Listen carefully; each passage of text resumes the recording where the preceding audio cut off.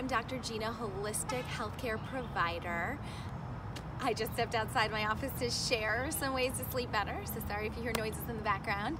I wanted to share hacks for how to sleep better, and today's is how to get your body to produce melatonin. A lot of people will take supplements, and it's not a bad idea to take melatonin if you're traveling between different time zones to get your body synced.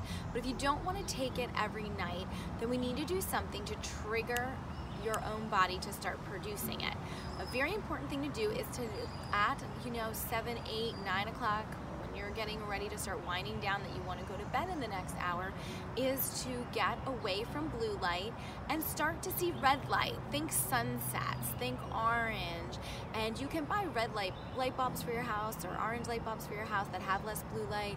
You can wear certain glasses um, called blue light blocking glasses, and I'll put some links below lots of different brands out there and styles. So if you are going to still be looking at your phone, computer, or TV, you're not letting those light waves into your eyes that are signaling your body to stay up.